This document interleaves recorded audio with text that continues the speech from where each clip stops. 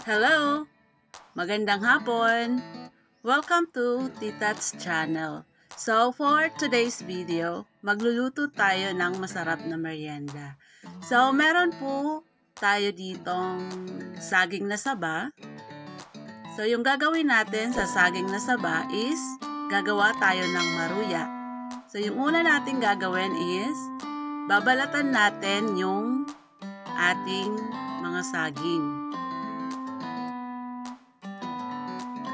So kung mapapansin nyo guys, yung, yung gagamitin kong saging is hindi siya masyadong hinog.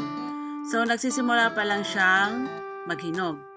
Kasi hindi po siya makonsumo sa mantika. Compare po sa sobrang hinog na o overripe na ng mga saging, masyado po siyang makonsumo sa mantika kasi na-absorb niya yung mantika. So, yung gagawin natin, pagkabalat natin sa saging is, hihiwain po natin sa gitna. So, ganito lang po yung gagawin natin. Ganyan. Hanggang sa maubos po natin yung ating mga gagamiting saging. So, maganda po itong gagamitin kong saging guys kasi uh, sarili din naming tanim. So, nahinog siya sa puno. So, tapos na natin walatan lahat ng saging. So, kung mapapansin nyo, medyo madami siya kasi mamimigay tayo sa ating kapitbahay. So, di ba? Sana all namimigay sa kapitbahay.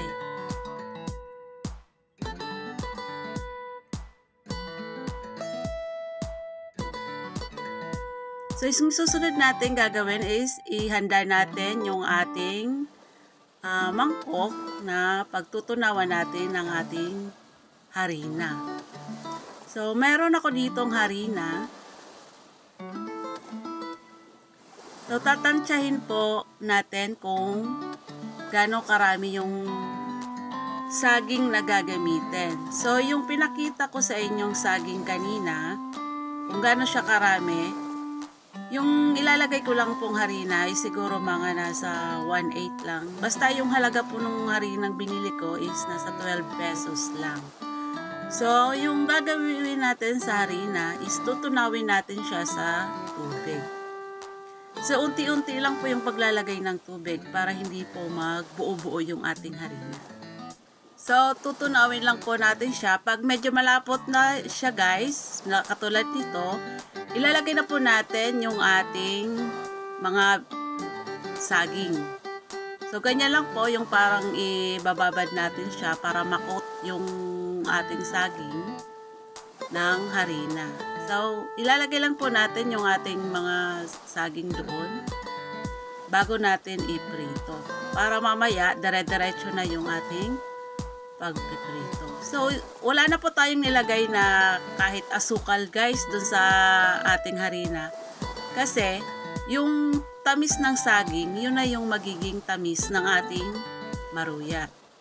So kapag naubos na natin iprito yung ating mga binaba dito sa harina, yung gagawin natin guys is isusunod lang natin yung mga ibang saging. So maghanda na tayo ng ating kawali. Ipapainit natin yung kawali.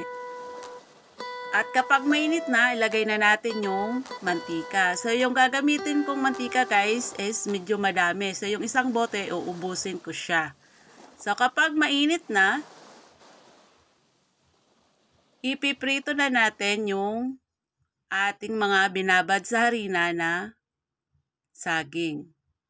So, iisa-isahin natin yun guys. Katulad nito. So, yung purpose kaya naglagay tayo ng harina is para magdikit yung ating mga ipipritong saging. So, ganito lang yung gawin natin guys. Isa-isahin natin. Ganyan po.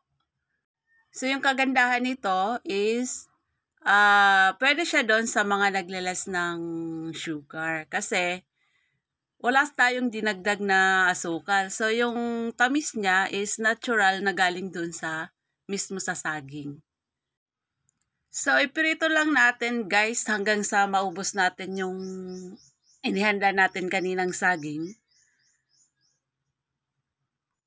At hintayin natin na medyo mag-brown siya. So kapag sa tingin nyo brown na yung ilalim, babalik ta rin na po natin siya katulad ng ganito. So dahan-dahan lang po para hindi tayo matalsikan ng mantika.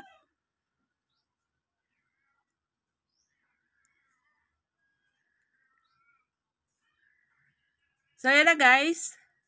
Luto na siya. So, kapag ganitong golden brown na siya, pwede na natin siyang tanggalin doon sa mantika. So, ilalagay natin siya doon sa uh, parang salaan, yung eh, ganyan. Or pwede kayong maglagay ng tissue or papel doon sa paglalagyan ng lutong maruya.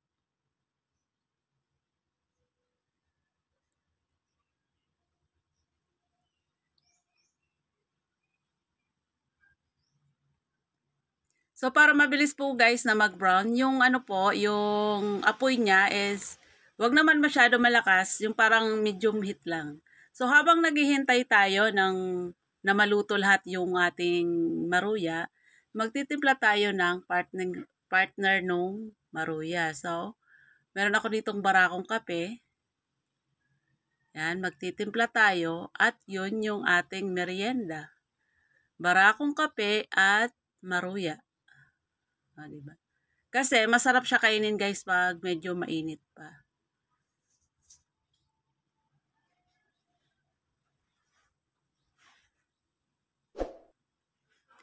So, ayan na. Naluto na natin yung first batch ng ating maruya. So, pwede na tayong magbigay doon sa ating mga kapitbahay. So, yun lamang po. Maraming salamat.